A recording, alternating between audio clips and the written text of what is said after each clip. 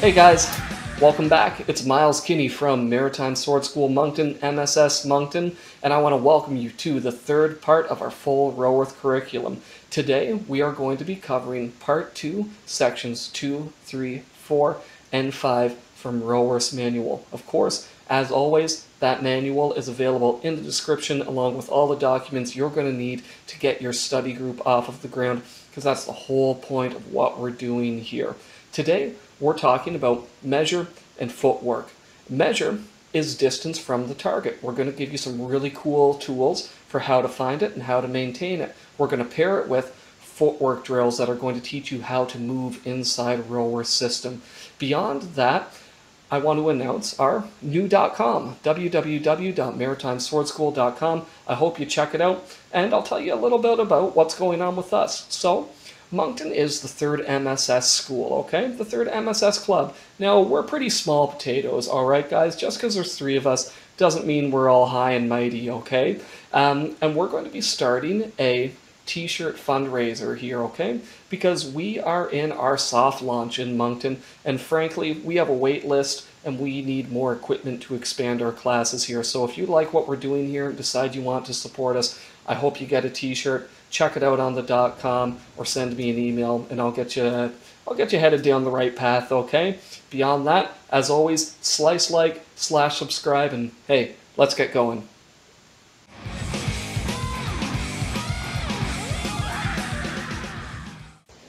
Alrighty, folks, let's get started. First off, we're going to be talking about measure. Measure is your distance to your hated adversary, or your friend who is your sparring partner, as is, you know, I think the case for 99.999% of us, I hope. Regardless, we're going to get started with this. And over the course of this video, we're going to be thinking about measure as we go through it, and we're going to be incorporating it into our footwork drills as well. Let's go. Roworth gives us two methods to find measure, but he does caution us that it's always going to be context sensitive. Some people are just longer. Some people have better lunges. Some people are faster. And he tells us that one of the methods isn't very effective, so we're going to focus on the more effective one. Really straightforward. Straight back in your stance, raise the point of your weapon. If your the point of your weapon is touching the shell of your adversary's weapon, you are in measure. Great job. let's start turning that into a drill and see what we can do with it, okay? One of you will be out of, will be advancing, one of you won't be. You'll both have your weapon lowered. Here I am, moving in on Brennan. When I feel I'm in measure, I raise my weapon, he raises his, and we test it. I was about two inches short there. Try again. Hmm, still about two inches short. I think I'm going to dial it in this time. Here we go. Oh, es bueno. Perfecto. I love it. All right, so you see it's pretty straightforward, right? But I want you rotating this through all of the people in your class. Beyond that, don't always use the same starting point right? Because then you're just going to be training a particular distance and closing a particular distance. Beyond that, you can mix up your um, you can mix up your footwork a little bit. You can have a little bit of fun with it. So use this kind of as an idea for how you're going to be training it. See, Brennan's going way out of distance now, and he's starting to move in. Let's see how he does. He got it.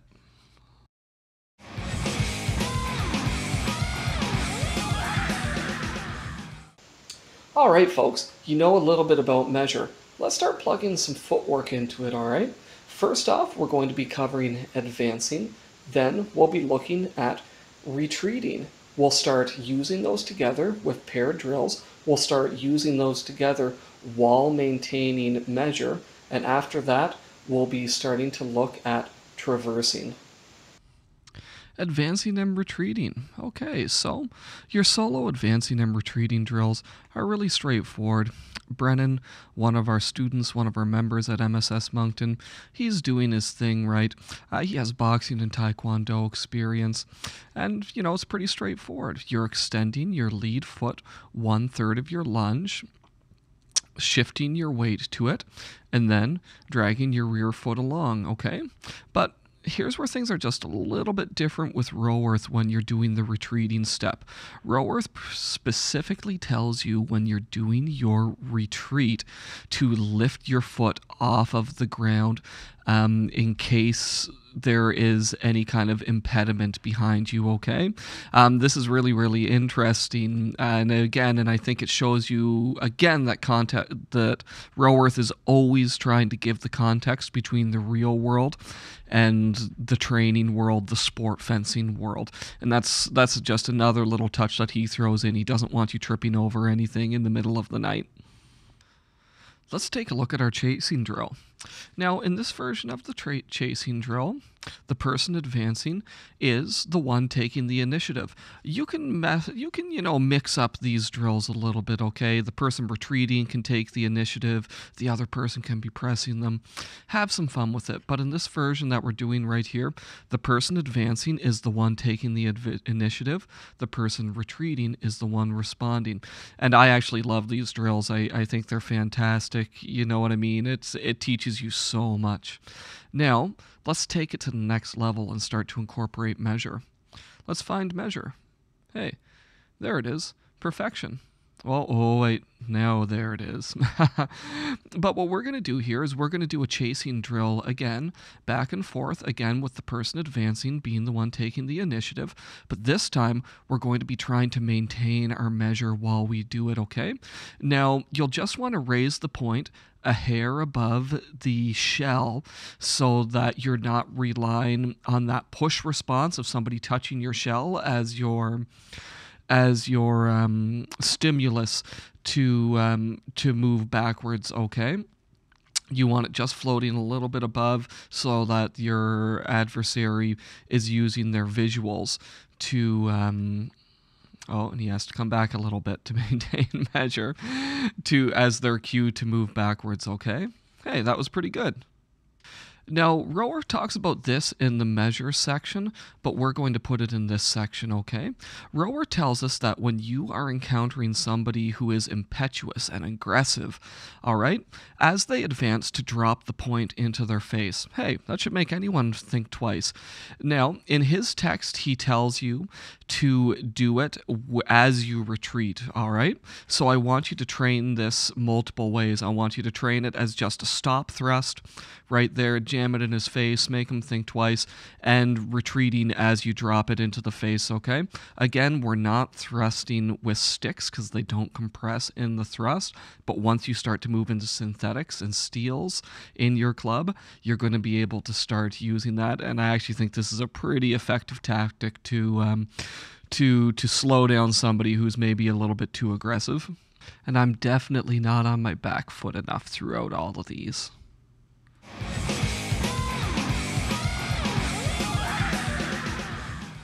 Excellent, folks. You can advance, you can retreat, you can maintain measure while doing so beautifully. I'm very impressed.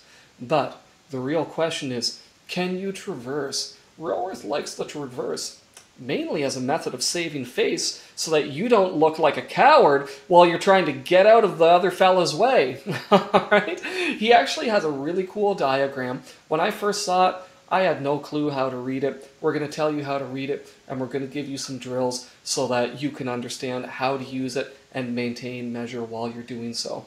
Let's go. Okie dokie, folks, let's take a look at this graphic. The first time I saw it, I was so confused. I had to read the text about four or five times to understand what was happening, but that's like most things in this manual. Let's take a look and see what we can do with it, okay? There's eight lines, there's a whole bunch of letters. Let's dissect it. So, right in the center, there's a C. The C is the center point between you and your opponent, and each of the eight lines represents a line of defense between yourself and your opponent. In order to move around this circle, you're going to be using the fore and the back traverse, okay? For the fore traverse, your right foot will be moving first to the letter on the inner circle, and then your left foot will be following to the letter on the outer circle. To do a back traverse, your right foot will be, or rather, to do a back traverse, your left foot is moving first to the letter on the outer circle, and your right foot is following to the letter on the inner circle. It's pretty straightforward, but you know, this thing was a little bit confusing when I first looked at it, so I wanted to make sure I explained it to you guys, okay?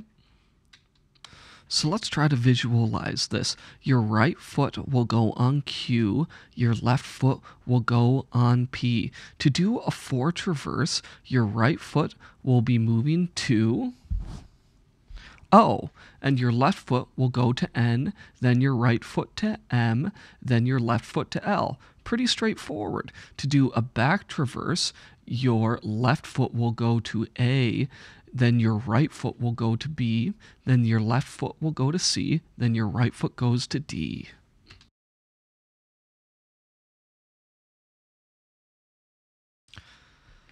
So there are five movements in our drill for this, but I didn't film the solo ones, okay? The solo ones, you're just moving around the center point. We're just going to skip right ahead to us doing the paired drills, okay? And beyond that, we're checking measure periodically, okay? You can also do this while keeping the stick extended the entire time so that you're trying to stay in measure the whole time. I know that for me, this shows a lot of what I have to work on with my traverses. They're a little bit messy. I don't feel super solid with them, and that's something that Roworth specifically cautions against, okay? But he also gives us some really cool context for this, all right? So he wants you to traverse as a way of saving face instead of retreating if somebody's beating you back. Beyond that, he says that you're going to need to use this to achieve advantage, whether there's a ditch, whether the sun is in someone's eyes there can be a million different reasons. So we really want you practicing this and practicing doing it while staying in the correct measure. Of course, take turns with who's leading, who's responding be a great training partner. Okay, guys? And um, this is pretty straightforward, but I think that there's some value in really breaking this apart and drilling it.